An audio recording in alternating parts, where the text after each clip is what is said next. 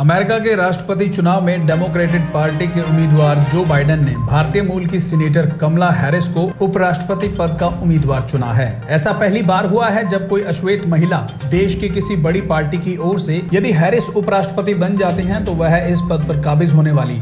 America की पहली महिला होंगी और देश की पहली भारतीय अमेरिकी और अफ्रीकी उपराष्ट्रपति होंगी। पचपन वर्षीय हैरिस के पिता अफ्रीकी और माँ भारतीय हैं। वह अमेरिका के कैलिफ़ोर्निया की सीनेटर हैं।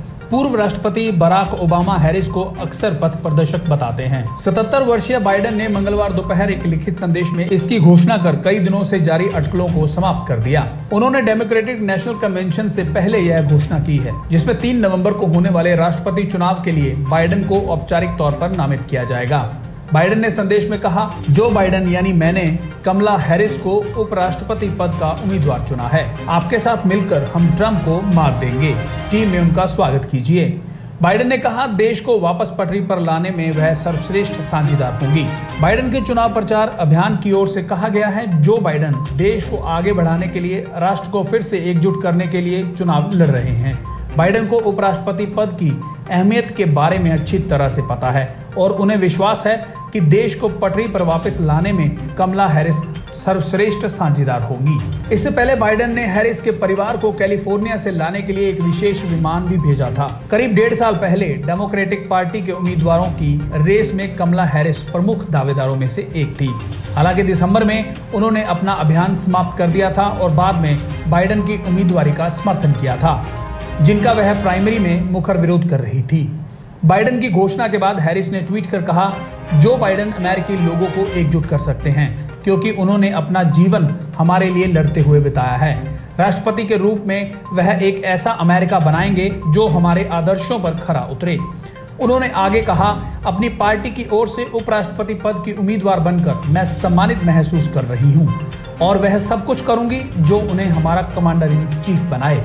बता दें कि पिछले साल कमला हैरिस ने भारतीय विदेश मंत्री एस जयशंकर के उस फैसले के खिलाफ बात की थी, जिसमें उन्होंने अमेरिकी संसद सदस्यों से इसलिए मिलने से इनकार कर दिया था क्योंकि वे भारतीय मूल की सीनेटर प्रमिला जयपाल को बैठक से बाहर करवाना चाहते थे। जयपाल कश्मीर नीति को लेकर मोदी सरकार की सख्त आलोचक रही हैं।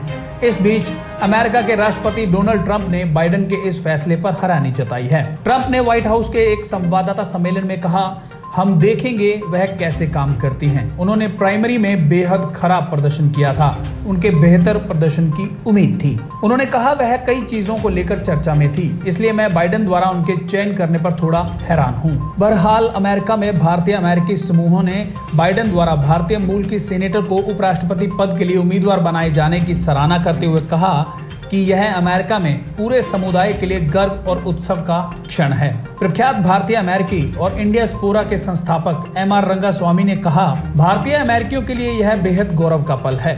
भारतीय अमेरिकी अब वास्तव में राष्ट्रीय ताने बाने में एक मुख्य धारा में हैं। प्रमुख भारतीय अमेरिकी समूह इम्पैक्ट और पीएसी के फैसले का स्वागत करते हुए उन्होंने कहा कि वे अभियान के लिए एक करोड़ डॉलर जुटाएँगे। देश विदेश की तमाम खबरों से जुड़े रहने के लिए सब्सक्राइब करें सच कहूँ और बेल आइकन प्रेस करके पाएँ हर लेटेस्ट अपडेट सबसे पहले।